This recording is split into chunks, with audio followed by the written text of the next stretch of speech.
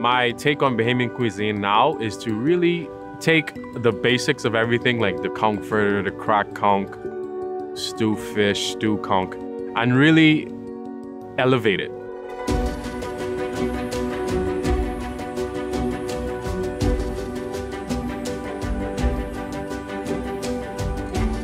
Local and fresh ingredients to me is very important because quality of something makes a big difference. I typically like to crack my conch. Crack conch essentially is fried conch.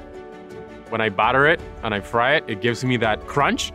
And then sometimes just to finish off my conch, I like acidic flavors, some pickled radish, some jalapeno, shishito peppers, something colorful and gives me that bite that I look for.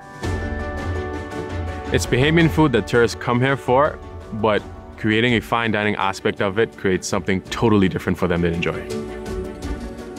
Almost as important as what you eat is what you're drinking.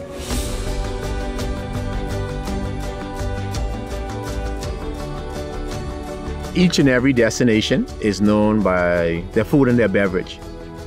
The Bahamas is known for a well-balanced cocktail. It's layers of flavor. What really transforms our cuisine and beverage is the use of indigenous ingredients. When you incorporate tamarind, mango, soursop, sapodillies, and conch, not many island nations do that. I love doing it for the guests. They're all blown away by these flavors because they've never tasted it and they've never heard about it. So that is what makes it special.